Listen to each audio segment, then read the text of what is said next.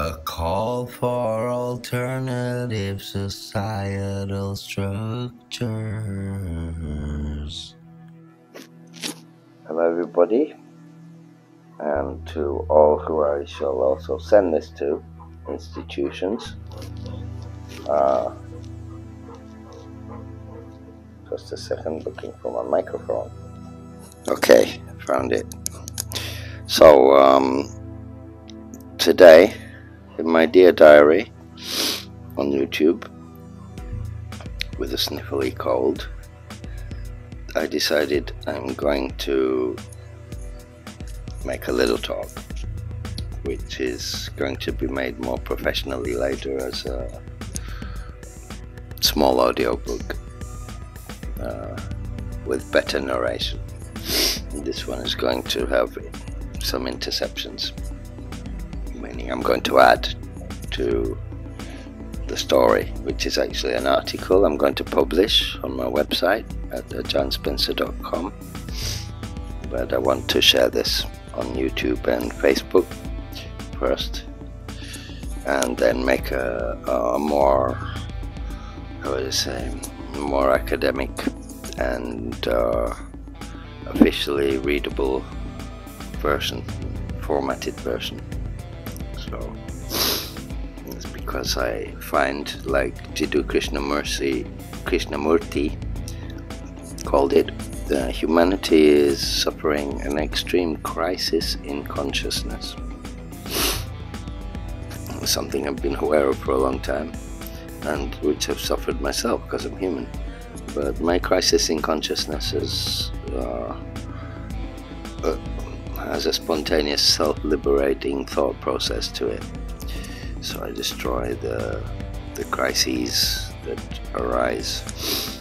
It Sometimes takes me a long time, sometimes a short time, but that's what I do. So this talk is a call for alternative societal structures because I have this belief that everybody has gone so deep into the assumption that there's only one way to do things on planet Earth with the human race, with our world, not the natural world, our imaginary society and worlds, and our politics, and the way we survive and exist, and our system of rule and governance, and education, and employment, and money, and exchange, and uh, different countries, different nations, and stuff like that, and uh, conflicts, and uh, various related um, aspects.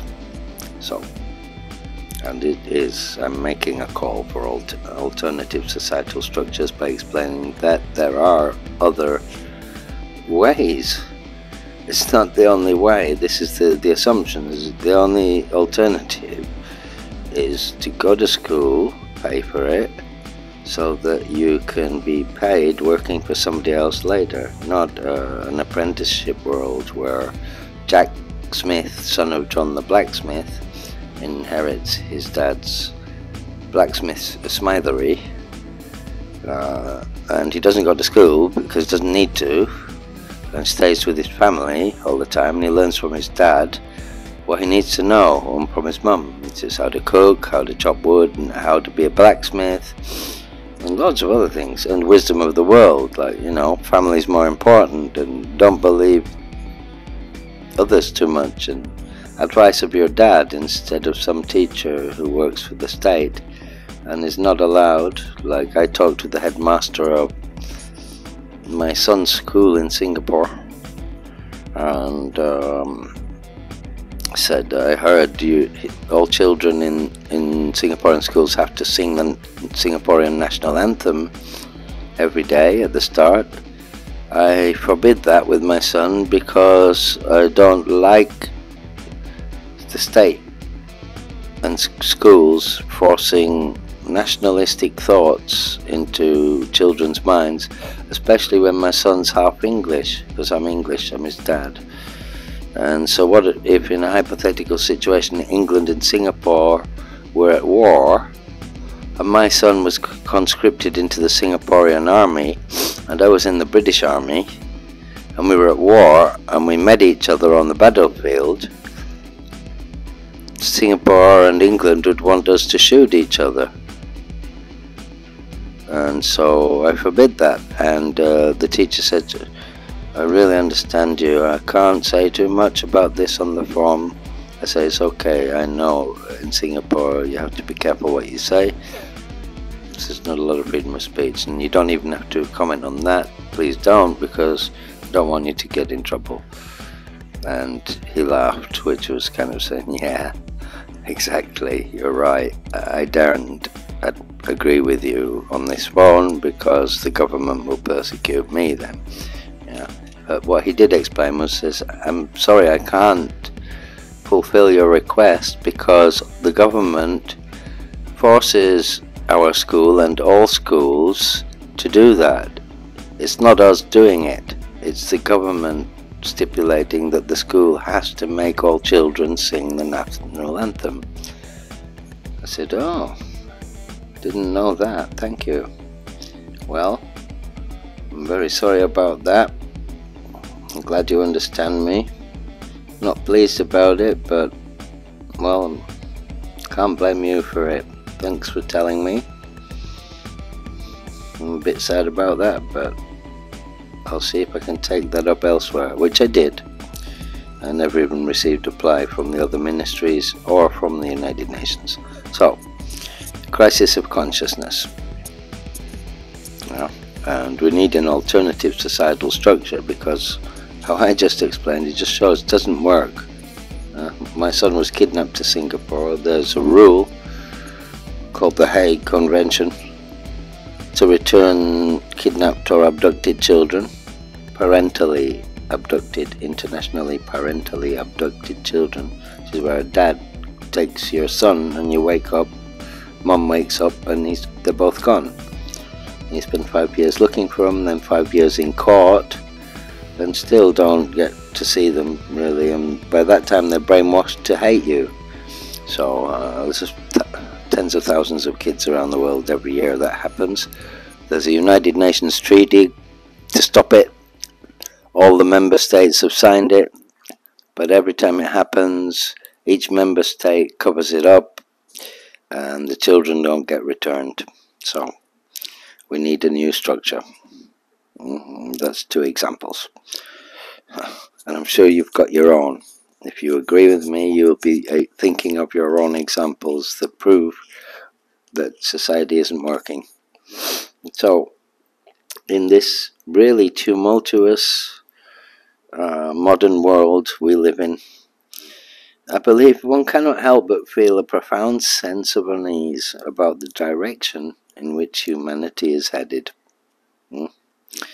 And from the pervasiveness of conflict and the inequality to the erosion of trust in traditional institutions and governments, it's evident that we're facing a massive crisis in consciousness one that demands urgent attention, I believe, and a concerted action.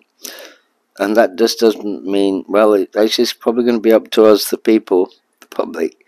But I actually, by concerted action, I'm talking to governments and to NGOs and to corporations, which are all kind of well, impolitely in cahoots and uh, politically correct. I would say they're all affiliated and uh, intertwined and inextricably intertwined since so long that they couldn't untangle themselves even if they wanted to. Yeah, which is why my son's uh, abduction was ignored because the financial uh, trade deals between Singapore and Great Britain and the geopolitical uh, aspects uh, of um, Singapore being one of the West's strongest footholds in Southeast Asia. They're not going to let my son's abduction uh, start causing the UN to give a sanction to Singapore. Remember the, the poor fellow who was imprisoned in North Korea, the American and was sent home and died a few days later after doing slave labor in prison. It didn't see the American government or consulate or anybody save him or get him out. That's because they also buy uh, gas. So Europe was buying gas from Russia at the time.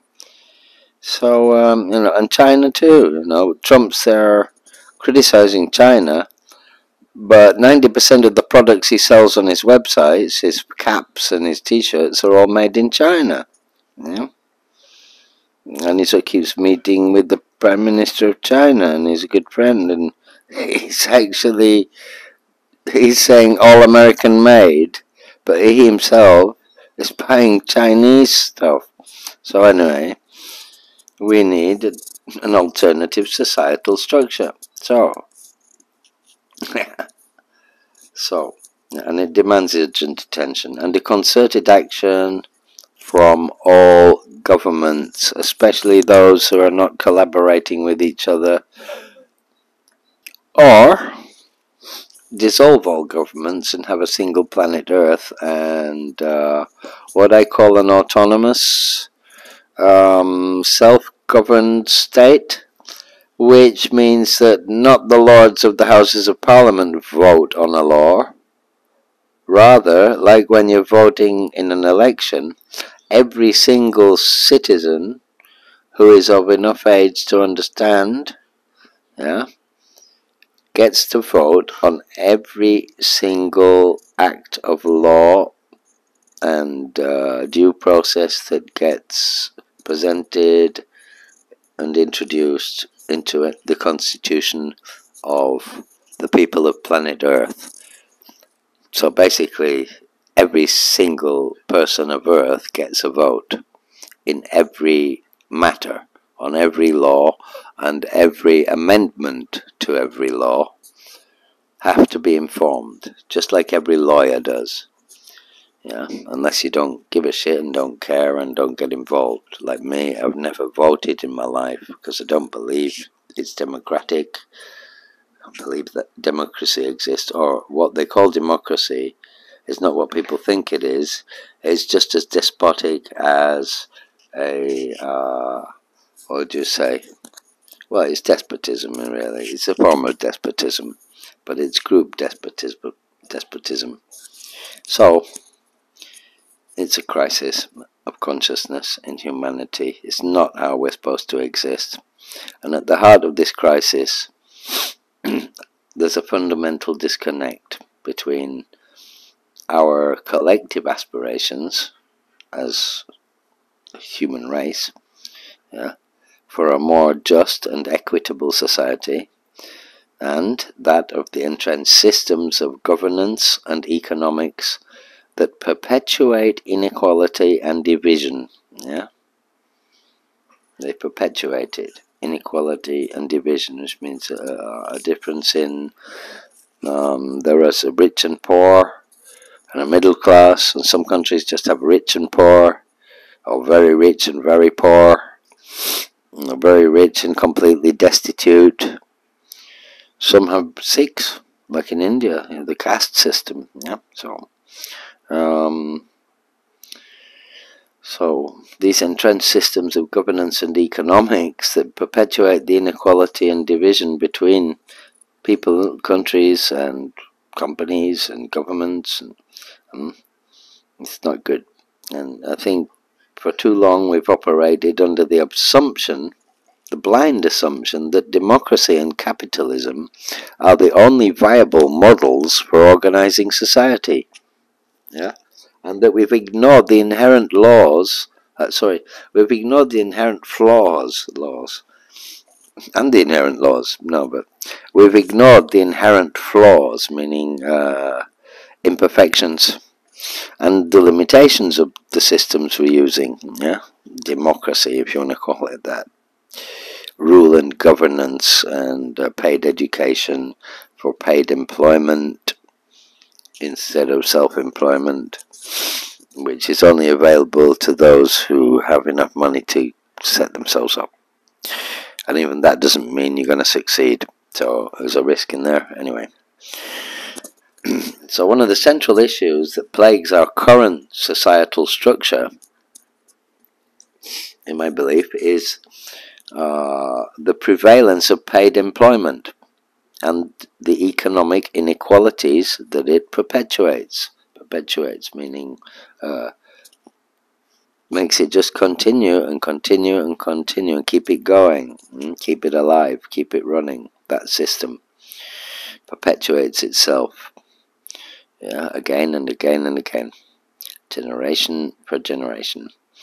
And uh, by tethering individuals, you, me, everybody who went to school and looked for a job afterwards, uh, by tethering us to wage labor, meaning working in a factory and getting your wage at the end of the month, yeah, and relegating humans to the status of being mere cogs in the machinery of production, because that's what you can compare it to. If you're working in a 7-Eleven or in a factory, you are a cog in the machinery of production. Yep. Or if you're even uh, writing out the affidavits or uh, writing an affidavit from a letter from a client as a lawyer, you're also a cog in the wheel of production, right? Even if you're working in the royal palace, you're still a cog in the machinery of production. It's not your palace, you have to get up and go there, and you have to dress like they tell you, and you know, even if you're a president, you have to do that. Yeah, and wake up earlier than you want. Yeah and be dogged by the press and stuff. Hmm? Regardless of whether it's an asshole president or a, a complete despot. Anyway, so um, relegating humans to be merely like cogs in the machinery of production, uh, we, we humans, uh, the system we have made, not we, the system that we humans have designed, which is hard to topple and perpetuates itself now, uh, denies humanity the opportunity to pursue its passions. So it denies individuals, you, me, everybody, to pursue our passions and to fulfill our true potential. Hmm? No time, you gotta go to the factory. Moreover, the concentration of wealth and power in the hands of a privileged few exacerbates social divisions, in my opinion. It does. Think about it. Yeah. There's some very, very poor and very, very rich. Yeah. Very few countries have a middle class. Mm. And this uh, makes social divisions where people look down on others or where some people have more rights and get away with more than others and some get away with less. Uh, some people have a more right to uh, legal assistance and some people get no rights at all and get abused. And it's usually the wrong way round. The wrong people getting abused and the wrong people enjoying everything. Yeah. And this undermines the very fabric of uh, democracy if you want to believe democracy is something that is fair, yeah, because democracy is supposed to be fair, yeah, but it isn't. and uh, apart from that, the commodification,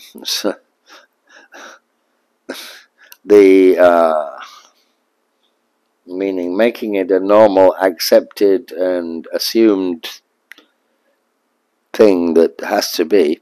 The commodification and making it generalized, the commodification of education has led to a system, meaning making schools, making go to school instead of being apprenticed to your father's business or your mother's business or the farm or whatever.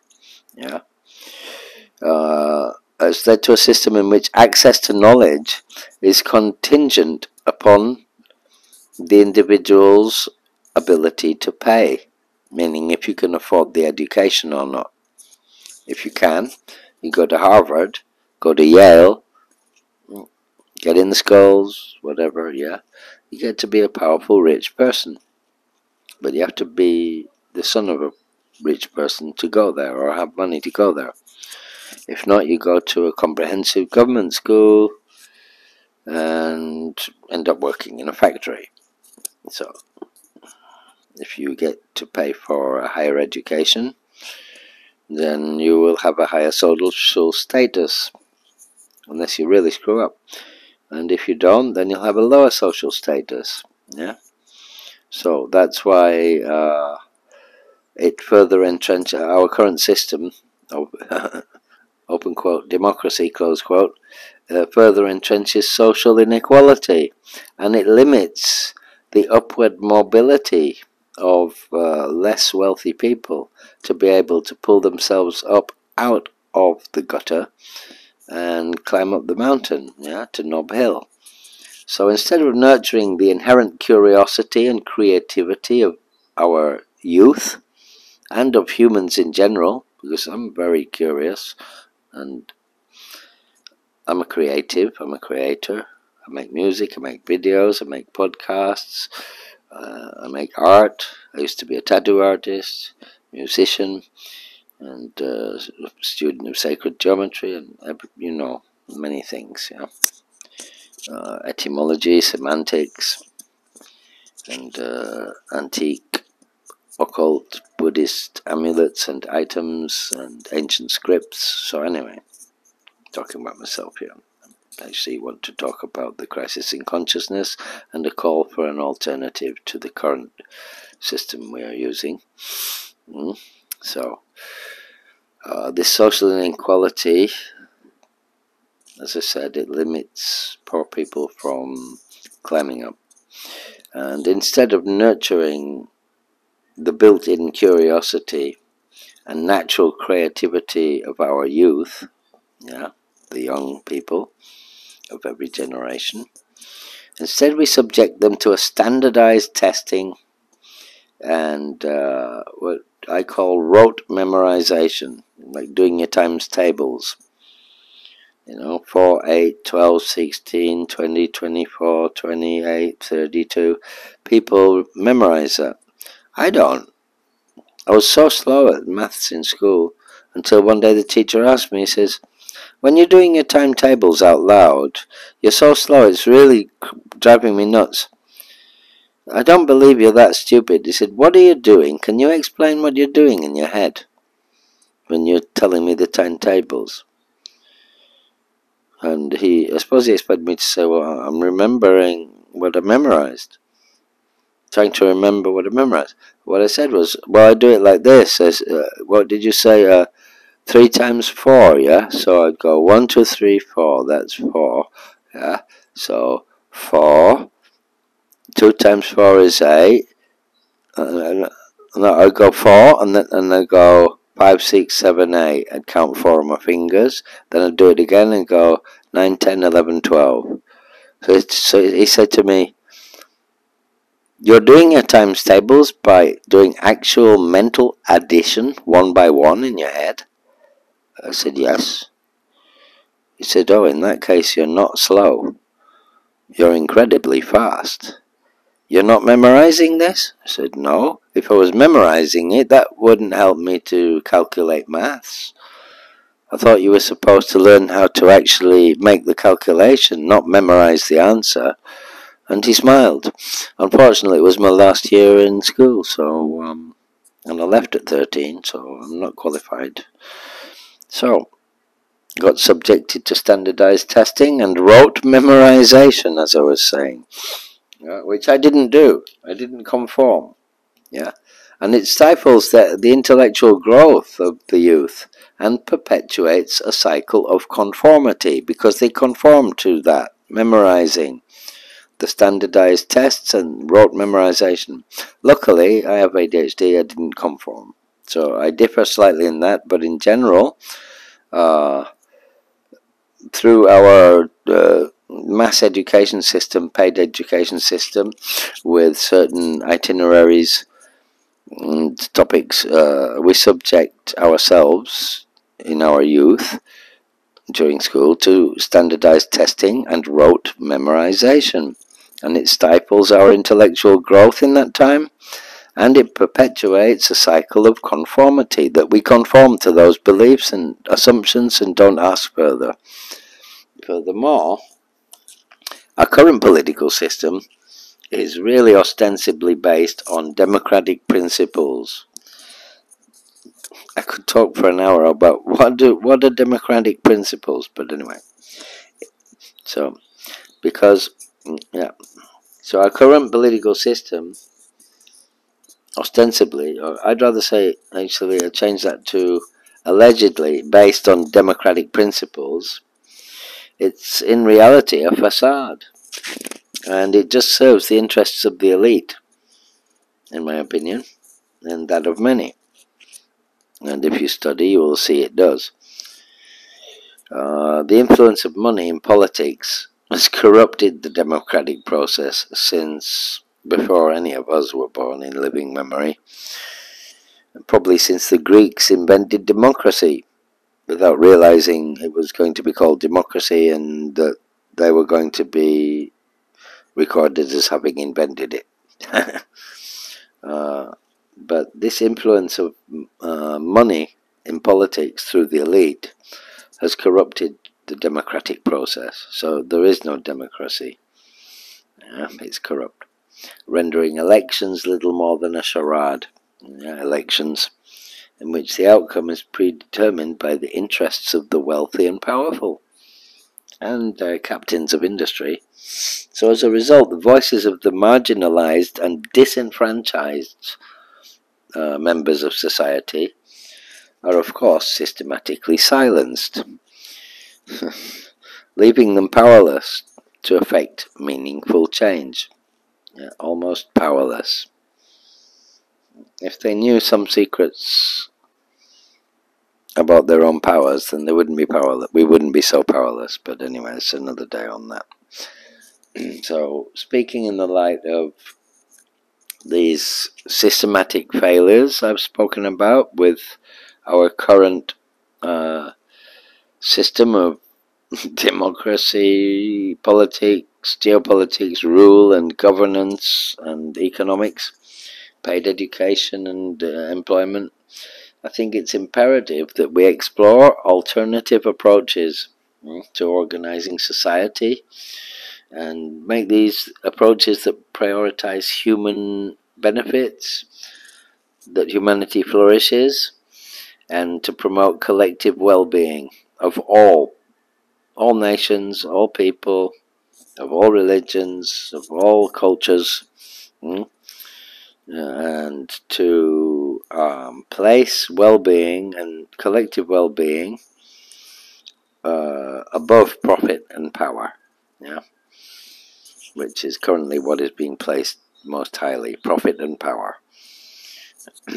so, how do you do that? It's easy to say stop it, but you need to offer an alternative system. If not, how can you say stop this? You say, well, tell me how else to do it. Yeah. So one such approach is the concept of self-employment. So anybody who knows me really well knows that I've just done my own thing almost all my life. I'm self-employed. And self-education. I left school at 13. I did learn a lot of good stuff. Up until 12, I went to a very, very expensive public boarding school, yeah, of elites. At 15, I was living on the streets, so I had a varied life, but yeah, that's why I understand both ends of the spectrum, because I've lived in both environments. so, um, I believe that one approach is, from my own experience and achievements, is self-employment and self-education. That's all you need.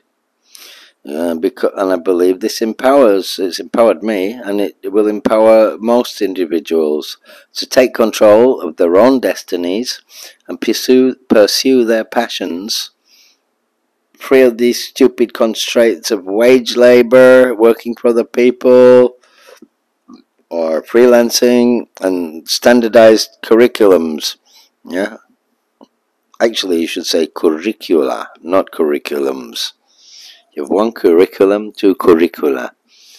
So, apart from that, I think we should try our hardest to um, instigate or cultivate to to to to um, promote a culture of solidarity, meaning oneness on a planetary level instead of feeling separate by culture, language, religion, and blah blah, or nation, yeah, and mutual aid between people and individuals and nations, individuals, neighbors, villages, houses, towns, countries, and uh, what do you call that? God, continents. Until we have just one country. Mm the people of Earth. Additionally, so, apart from that, yeah, mutual aid uh, for the needs of the community. Uh, we should remember that this mutual uh, collaborative attitude and way of living as an as a new principle of a new system of society that should take precedence over individual gain and your individual egoistic wishes to not want more than others and to be prepared to help others. It's a good thing because if you did, if we did, we would also receive precisely the same assistance always when needed back if we gave it when we saw it needed. So if everybody collaborated on a global basis, it requires it. Like if you do it and the other person doesn't do it back, it doesn't work. Everybody has to do it. So we have to cultivate a culture of solidarity. The same way they've cultivated, uh, we have cultivated over the last few hundred years, a culture of separateness. We should now cultivate a culture of society, solidarity. Yeah, because one way or the other, we're programming ourselves to accept and assume that this is how we do things. But the current system is causing a crisis in consciousness and separateness, war, strife, struggle, uh, a big separation in wealth and poverty, and so many things, and destroying the environment. Yeah.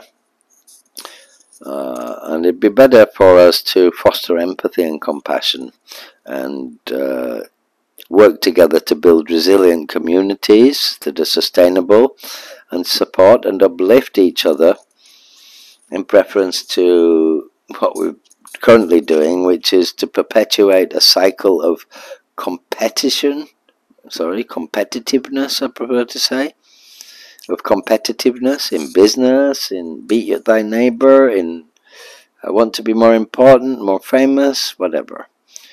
Uh, a cycle of competition and exploitation is what we are perpetuating, and we should change that to have resilient, collaborative communities that care for each other as individuals and community, and that we all support and uplift one another.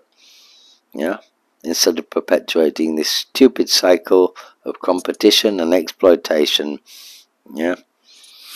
Mm, you got a PhD, I got a bachelor's degree. Oh my God. Which means you get a better job, become more important, get more power, more money. Whereas I stay with that paying a mortgage off on a house. And I don't get a beautiful wife like you. Oh my God. Anyway. Mm? So I think we should, I think governments more than we, because I think a lot of us have already re-evaluated this. But I think um, those who can really bring the change through legislation and then through collaboration with other countries and continents, uh, the politicians and governments and the bankers and the, the, elite and those in power who influence all of the ones in power, the really richest, mm, uh, to reevaluate our relationship with the natural world recognize our interconnectedness with all living beings yeah, and with nature, and to stop pretending and talking, and saying we're doing something about it, and to actually address climate change uh, and biodiversity loss, for example, ecological crises that we're facing, which are a direct result of our, humanity's, reckless exploitation of the planet's resources. I don't think anyone can argue that. Well, there'll be somebody somewhere who'll argue it, but anyway, send him off in a corner and let him argue with himself. Only by embracing a more harmonious relationship with nature can we hope to secure a sustainable future. And that future is for generations to come your sons, your grandsons, your granddaughters, your daughters, their sons and daughters. Yeah, not just us. Yeah, we're leaving this world behind for our children. So, what world are we? Have we created? And are we going to perpetuate it so that our children and grandchildren have to endure what we have had to endure? Hmm? The crisis in consciousness that we face today is really due to the inherent contradictions and injustices of the current societal structures we have. And we need to challenge the status quo and this perpetuation. And we need to adopt and show that they work, uh, adopt alternative approaches, so that they work. Mm, alternative approaches to what? To governance, economics, education. I won't say employment because I don't believe in employment. I believe in life, yeah? When a lion goes out looking for food, or a monkey climbs up a tree picking fruits, he's not going to work. So I'm being paid. He, he's after the fruits. So are we. But to get the fruit, we can't go up the tree and get the fruit usually, or we don't for some reason. We think we have to go work for somebody, get shouted at, not want to be there for eight hours, and then we get some money so we can go and buy some fruit. The monkey just climbs up the tree and takes some. Think about that. Yeah? It's very simplistic, but I think it shows the basic heart of the matter, and you can then go into more complex scenarios and see if I'm right. Yeah? I'll see if you agree and you can feel it. And I really think that if we look at a different way to how the world could be run, uh, governance, what is governance? You know, some people ruling over others. Humans have never wanted that. We've just endured it. The only people who've ever wanted that are the people who govern. Hmm? and even they don't enjoy it because uh, even the prime minister or president has to do what he's told and wake up early and he doesn't make decisions he doesn't even understand uh, microbiology and uh, atomics and so he just sits there in his desk and all the experts come in with pieces of papers and new laws to pass and amendments. And he might sometimes read, understand, and agree or disagree or refuse to sign, but usually his job is to just sign 170 papers a day and make a few statements on TV, and everybody else works out the details because he doesn't understand any of that. Yeah, he's a hotel builder or a property owner or an oil mogul. He's not a doctor or an engineer or a scientist. Anyway, Reagan was an actor. Jeez. Uh, Carter was a peanut farmer, so there you go. If it was about peanuts, then maybe he could evolve his um, with his use his power to actually influence a certain bill. Yeah, a bill of rights or a bill for parliament. Yeah. But if it was about genetics, he didn't understand JS about that. What does JS mean? I'm not going to say it in this video because I want to monetize it. It's not a video, it's a podcast. anyway, so this crisis of consciousness that we are in today, yeah, means to me that we really need to think that, hey, there's other ways for humanity to exist do we really need money? We found Göbekli Tepe, they were hunter-gatherers. We didn't stay in villages and have money in those days. But they built these amazing monuments, and we lived for thousands of years quite happily without police, soldiers, and governments, and prisons, and laws. Yeah, I'm sure the odd person got killed by a lion or another person, but they do now. It's just we have laws about it, but it hasn't stopped people from doing what they do, and it never will. So there's no need to have them, really. You might as well just take revenge instead of going and paying a lawyer and hope that you win the case. Just go get your own back, like at school. Kid hits you, so you go find him and hit him back. End of story. Don't need police. And um, I think if we go back to learning the specialized trades people used to have our parents used to have uh, instead of going to school or learning to do. Like if my son had been with me, I wanted to homeschool him.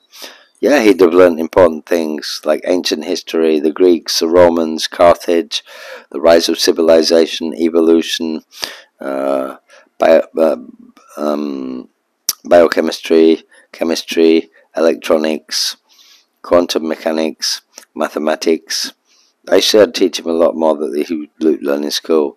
But what I would teach him mainly is what he really needs, is what I know, is how to make lots of money in various ways without having to break your back or really get very tired. Or really get very tired. Sorry, my microphone went off. and teach him how to um, administrate and use my websites and online shops and businesses so that he can take them over. But as it stands, he's not going to be able to because he's not learning that. He's being indoctrinated with the Singaporean education system, which makes him sing the national anthem. So he thinks he's Singaporean and forgets he's half English. See? So, I think uh, it's not just up to me, yeah, to call for creating a more just and equitable world for all. I think it's up to each and every one of us to he- to heed the call to action and to try to head it as well by coming out of the closet like me and saying it. Yeah, speak out.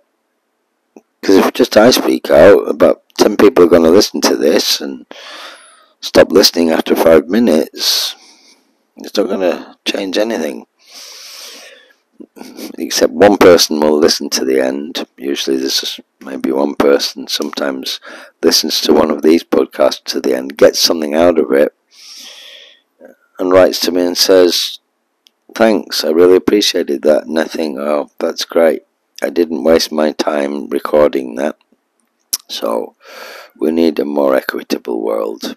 And we need to get rid of this democratic voting for only a few families and the elites, and the banking system and the monetary system, paid education for paid employment. Because we were much better off when Jack the Black Jack Smith, son of John the blacksmith and swordsmith, learned his trade and inherited his father's shop and he didn't need to go to school so he could get a job because he had one automatically when he grew up his dad's business. and that's what I wanted my son to have, my business. But when I'm gone, my business will just dissolve online. Somebody will forget to pay the hosting and it'll all disappear. Because my son is being kept from me and I've had no chance to teach him how to operate it all and how to read and write Thai so he can study amulets and teach him about amulets and Thai culture and Buddhism, which is what I write about, and Thai occultism, and how to chant kata and how to operate my websites so that he can continue. Which is a shame, but his mum didn't want that, so she abducted him to Singapore, and Singapore misbehaved, ignored all of my court cases, and even deleted one of them. So, you know, I would say, I'm not sure. Uh, so, uh, if you let me think for a second, I will formulate a conclusion now to everything I've been trying to insinuate. Okay. I actually wrote one, I'm looking through my notes. Ah, I got it. Okay, so I'd like to conclude with this.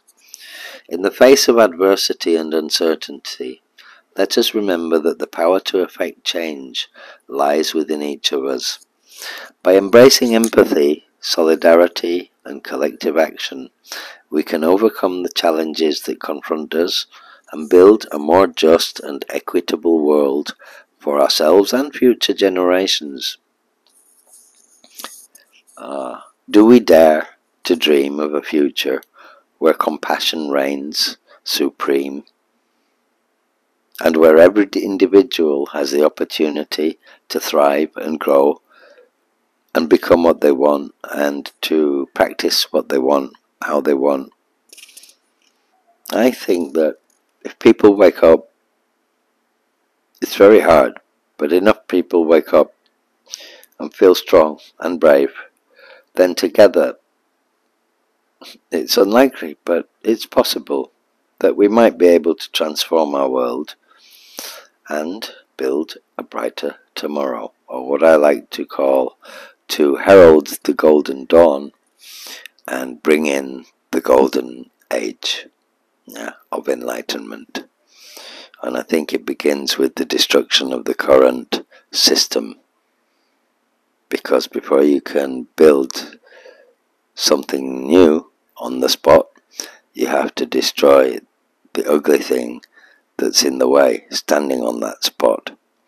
You have to tear down the tower of Babel, of Babel, Babel, Babylon, yeah, before you can build the palace of the house of wisdom. So, that was just a little Dear Diary based on a blog post I'm going to make on my website at ajarnspencer.com about our crisis in consciousness and a call for uh, a change, but not a call to the public so much. That's incitement to rebellion. They'd have me for that. Shut me up with that straight away. You just need that to shut me up. No, no, no. This is to governments and it's a call for alternative societal structures and for them to consider it. And if they don't accept it, then tell them to consider it and try and figure out how they can um, monetize it. Because that's the only thing that seems to drive them. America says it's achieved nuclear fission, but they're not ready to reveal it to the public yet until they figure out how to um, exploit it economically, make money out of it. so there you go. Do you think we should change this? Can we change this? Should we change this? I think we should. In which case, how are we going to do it? Well, we need to write to governments, to ministers, and we need a long time. But this is what I advocate for a completely different society that is cashless but not with crypto. not that meaning don't need cash.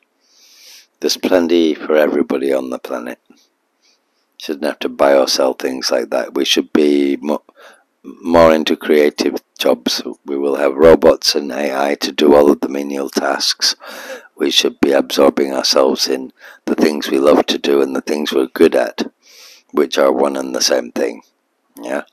So if you're a dancer, you dance and entertain me. If you're an architect, you enjoy designing my house, yeah? Yeah. And I'm a builder, so I build yours, which you designed for yourself. And whatever, you know. Mm, you've got some fish, but it keeps going off. You Too many, it's hot. But where I live, all there is is salt. So I bring you a load of salt, I'm sick of eating salt. and you give me a load of fresh fish, and we dry them out and salt some, and then he's got some. He's we give him salt for a load of fish, and you dry your own fish out there as well, and then you've got fish for the year, got some fresh fish, and fish for the rest of the year, and all you had to give him was a sack of salt. You're really happy. You feel like you, all you have is loads, mountains of salt. You're really happy. You've just got loads of really luxurious fish, hard to find, for a bag of salt, of which you've got loads. And the other guy's really happy too, because he's got a lot of fish that he's going to have to throw most of it away anyway. And uh, now he can keep it and eat it throughout the year because he's got this amazing salt. And all they had to do was give you some fish that were going to go off anyway to get that fantastic salt. So, like, both feel they're very happy with the exchange. Yeah, but if I sell you a pair of shoes, Nikes, for $600 and you see them for 550 down the road after you've bought them from me, you already start to be pissed off. So when money comes in the middle, that's also a part of what causes separation between people. Yeah, and greed and anger and revenge and all sorts of things. So I would advocate, as I said, for an alternative approach to rule and governance or how uh, people, how we as a collective race um, wish to move wish to move forward, right?